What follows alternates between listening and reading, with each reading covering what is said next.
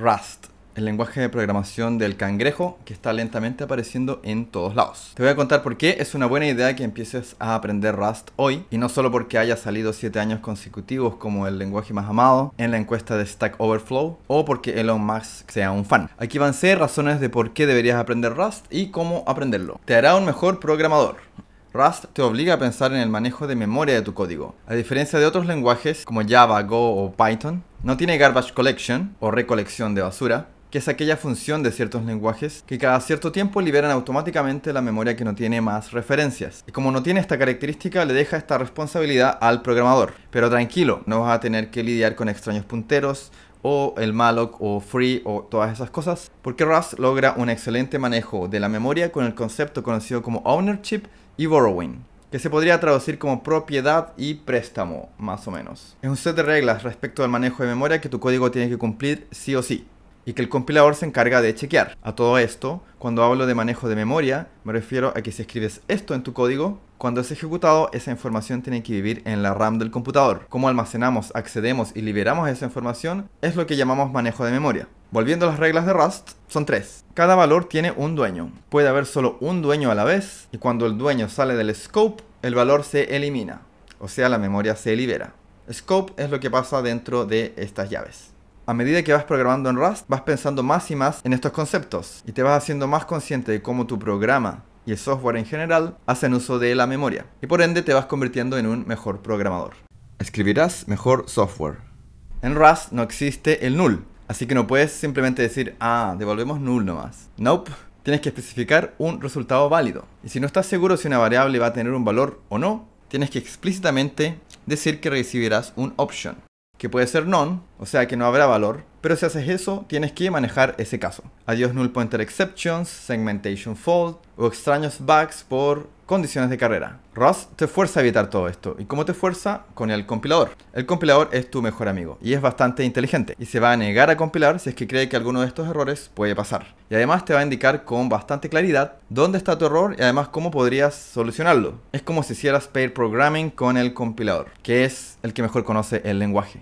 Hay pocos desarrolladores y mucho trabajo. Rust tiene una curva inicial de aprendizaje que puede ser intimidante. El concepto de ownership y borrowing suena un tanto complejo, por lo mismo no muchos developers se animan a aprender el lenguaje. La mayoría de desarrolladores son developers seniors que vienen de C++, Go o Python, escucharon de las mejoras de performance que pueden lograr y quieren probar un poco de Rust. Por lo mismo no hay muchos desarrolladores en el mercado y los que están, la mayoría ya están trabajando. Las ventajas de ser Rust en cuanto a performance y escalabilidad son indiscutibles. Por lo tanto hay demanda de las empresas pero no hay suficientes desarrolladores. Y esto, como no, va acompañado de buenos salarios. Los sueldos, salarios o compensaciones pueden llegar a los 200 mil dólares por año o más en algunas startups del mundo Web3 o en algunas empresas ya establecidas. A medida que pasa el tiempo se van abriendo más y más posiciones para devs Rust. Y a medida que va creciendo el ecosistema, el lenguaje se empieza a ocupar en más y más y diferentes industrias. Lo que me lleva a la siguiente razón de por qué deberías aprender Rust. Muchos tipos de proyectos. Rust inicialmente fue conocido como un Systems Programming Language. O sea, para hacer software que hablara con otros softwares, no para usuarios humanos finales. Pero hoy en día ya se considera un lenguaje multiparadigma para propósitos generales y puedes hacer muchas cosas más con el lenguaje.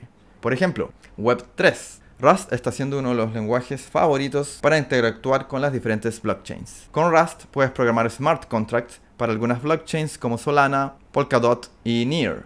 Y también puedes desarrollar herramientas para interactuar con Ethereum, Avalanche, Cosmos, Algorand, entre muchas otras. Gran cantidad de los nuevos trabajos disponibles para devs Rust son en la industria Web3, blockchains y cripto.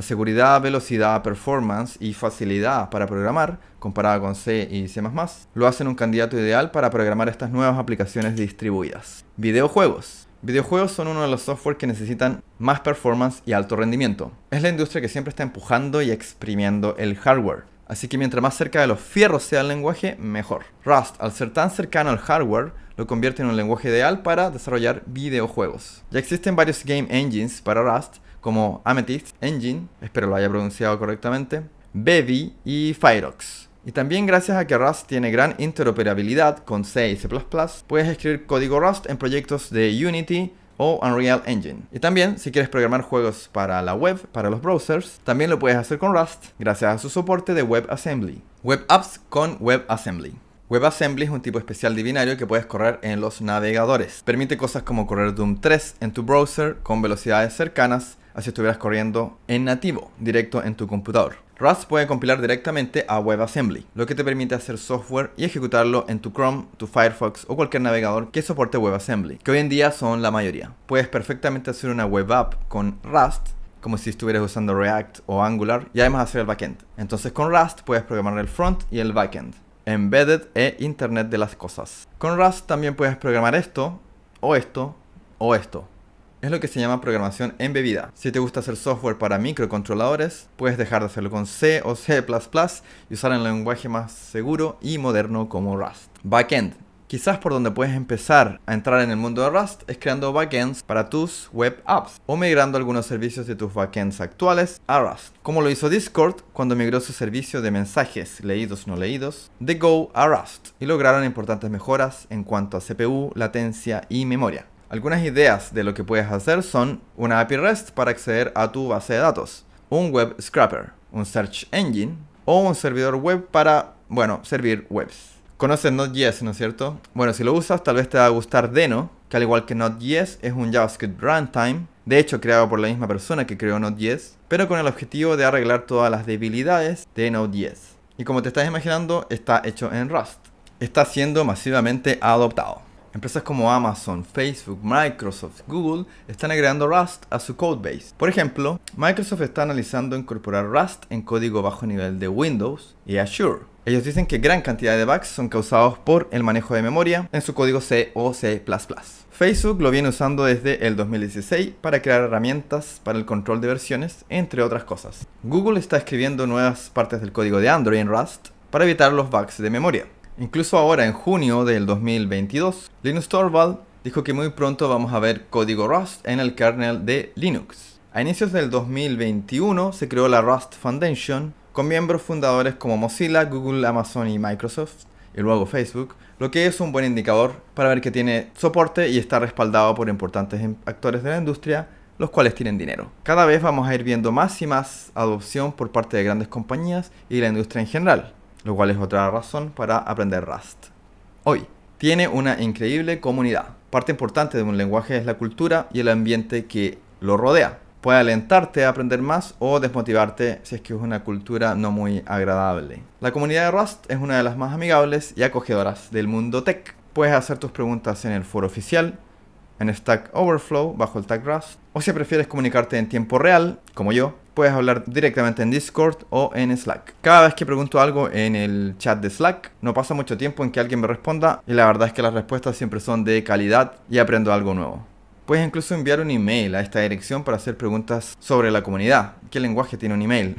y también existe otro email que es para reportar cualquier situación incómoda o extraña dentro de la comunidad. Eso es una muy buena señal. También tiene un canal de YouTube muy activo, donde puedes ver conferencias, tutoriales e incluso cómo los distintos equipos dentro del lenguaje Rust discuten y toman decisiones sobre temas del el código mismo o de la comunidad. Por ejemplo, acá tenemos un video donde están discutiendo sobre el RFC 2229. RFC significa Request for Comment, que es el mecanismo por el cual se agregan nuevos features al lenguaje. Y puedes escuchar en vivo cómo toman decisiones acerca del lenguaje. Y luego tú incluso puedes comentar en el issue de GitHub. Y finalmente también puedes seguir a varios Rustassians, si así es como se llaman, los que programan en Rust, Rustassians. Puedes seguirlos en Twitter porque son personas muy amigables y cercanas. Y esas son algunas de las razones de por qué ahora es el mejor momento para aprender Rust. Y si estás interesado y te convencí, te dejo un cupón de descuento en la descripción de este video para mi curso de Rust, el cual va desde lo más básico hasta temas más avanzados. Todo el código es descargable y lo puedes seguir bajo tu propio ritmo. Y también recibirás siempre todas las actualizaciones del curso en el futuro. Voy agregando videos y clases constantemente. También siempre puedes preguntarme cualquier cosa en el curso o en las redes sociales. Si obtienes mi curso directamente a través de mi link, me ayudas un poco más para poder seguir creando contenido y no hay un extra costo para ti. Ojalá te haya gustado este video. Cualquier duda siempre puedes hacerla. Que tengas un buen día.